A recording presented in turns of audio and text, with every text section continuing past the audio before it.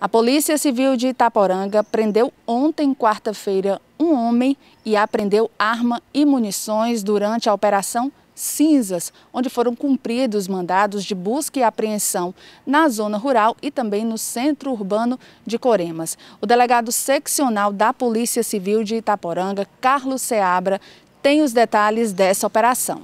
A Polícia Civil do Estado da Paraíba, através da 17ª Delegacia Seccional de Polícia Civil, situado na cidade de Itaporanga, deflagrou na manhã de ontem a Operação Cinzas.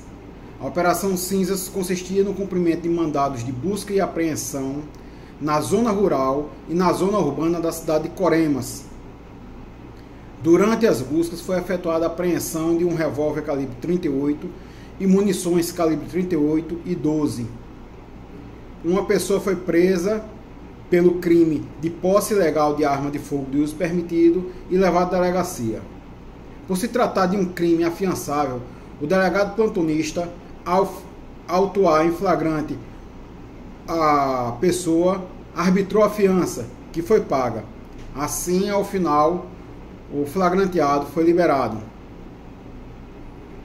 As buscas foram procedidas por policiais civis da cidade de Coremas e policiais civis integrantes do grupo tático especial da cidade de Itaporanga.